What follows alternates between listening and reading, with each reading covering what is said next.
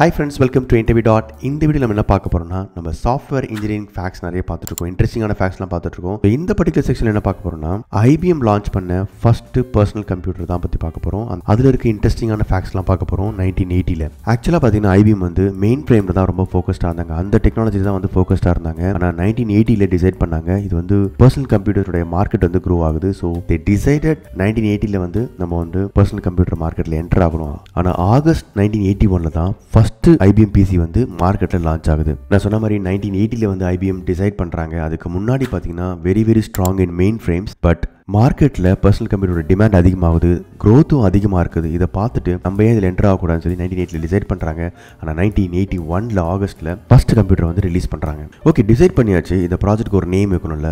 So IBM வந்து அஃபிஷியலாக இந்த பிசி ப்ராஜெக்ட்க்கு ஒரு நேம் வைக்கிறாங்க ஜூலை நைன்டீன் எயிட்டியில் அந்த ப்ராஜெக்ட் நேம் பார்த்தீங்கன்னா ப்ராஜெக்ட் செஸ் இந்த ப்ராஜெக்ட் செஸ் பார்த்தீங்கன்னா moving away the focus from mainframe to customer friendly personal computers so குயிக்காக என்ன பண்ணுறாங்கன்னா ஒரு டுவெல் மந்த் டெவலப்மெண்ட் கோலை வந்து செட் பண்ணுறாங்க ரொம்ப அம்பிஷியஸான கோல் நம்ம வந்து டுவெல் மந்த்ஸ்க்குள்ளே ஒரு ப்ரோட்டோடைப் ரெடி பண்ணணும் அப்படின்னு சொல்லி கோலை செட் பண்ணிடுறாங்க.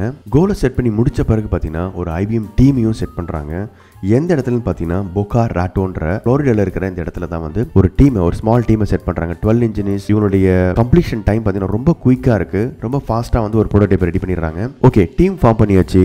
அதுக்கப்புறம் இந்த டிசைனும் ரெடி ஆகிடுச்சு ஸோ நெக்ஸ்ட் கேள்வி என்ன? முக்கியமான பாட்டு ஒரு பர்சனல் கம்ப்யூட்டர்ஸ் எடுத்துக்கிட்டோம்னா அதில் முக்கியமான பார்ட் வந்து ஆப்ரேட்டிங் சிஸ்டம் இதை என்ன பண்ணலாம் அப்படின்னு சொல்லி பார்க்கும்போது மைக்ரோசாஃப்டுடைய ஆப்ரேட்டிங் சிஸ்டம் தான் யூஸ் பண்ணுறாங்க எம்எஸ் டாஸ் இதுவும் ஒரு அழகான ஒரு டிசிஷன் எடுத்துருக்காங்க இதனால தான் பார்த்தீங்கன்னா க்ரோத்தும் இன்னும் அதிகமாச்சு. இந்த ஸ்லைடில் தான் ரொம்ப முக்கியமான இன்ஃபர்மேஷன் இருக்குது எனக்கு இன்ட்ரெஸ்டிங்கான ஒரு ஃபேக்ட் இதில் தான் இருக்குது அது என்னென்னா ஆகஸ்ட் நைன்டீன் எயிட்டி ஒனில் அவங்க ரிலீஸ் பண்ண ஃபர்ஸ்ட் ஐபிஎம் பிசியோடைய கான்ஃபிகரேஷன் என்னன்னு பார்த்தீங்கன்னா Intel eighty eighty eight processor sixty four KB of RAM அதுக்கப்புறம் அதை வந்து ஒரு தௌசண்ட் டாலர்ஸ்க்கு வந்து அவங்க சேல் பண்ணியிருக்காங்க.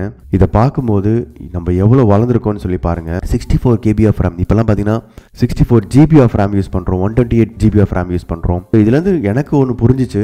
நெக்ஸ்ட் டுவெண்ட்டி தேர்ட்டி இயர்ஸில் நம்ம வந்து டென் எக்ஸ் இல்லை டுவெண்ட்டி எக்ஸ் வளர போகிறோம் கண்டிப்பாக two fifty GB of RAM வந்து யூஸ் பண்ண போகிறோம் இல்லை அதுக்கு மேலே யூஸ் பண்ணுறதுக்கான வாய்ப்புகள் நிறைய இருக்குது நம்மளுடைய க்ரோத் வந்து எக்ஸ்பென்ஷியலாக இருக்குது ஸோ இதுலேருந்து நான் கற்றுக்கிட்டு வந்து கண்டிப்பாக நம்ம டெய்லியும் லேர்ன் பண்ணணும் அடாப்ட் பண்ணிட்டு போயிட்டே இருக்கணும். சரி இதெல்லாம் ஓகேங்க. ஃபர்ஸ்ட் பிசி லான்ச் பண்ணிட்டாங்க. இதனால சாஃப்ட்வேர் இண்டஸ்ட்ரியில் என்ன இம்பாக்ட் இருந்துச்சுன்னு பார்த்தீங்கன்னா ஏகப்பட்ட இம்பாக்ட்டுங்க நிறைய பேர் வந்து சாஃப்ட்வேர் இண்டஸ்ட்ரிக்கு அப்ளிகேஷன்ஸை உருவாக்க ஆரம்பித்தாங்க நிறைய சாஃப்ட்வேர் டெவலப்பர்ஸ்க்கு வந்து இந்த பர்சனல் கம்ப்யூட்டர் ரொம்ப ஹெல்ப்ஃபுல்லாக இருந்துச்சு ப்ரோக்ராமிங் கற்றுக்கிறதுக்கு அதுக்கப்புறம் புது புது ப்ராஜெக்ட்டை உருவாக்குறதுக்கு. ஸோ மிகப்பெரிய ஒரு இம்பாக்டை வந்து இந்த பர்சனல் கம்ப்யூட்டர்ஸ் உருவாக்குச்சு. எனக்கு இந்த ஃபஸ்ட் ஐபிஎம் பிசியை பற்றி படிக்கும்போது ரொம்ப இன்ட்ரெஸ்டிங் ஆச்சு அதனால தான் உங்களுக்கு ஷேர் பண்ண நினச்சேன்.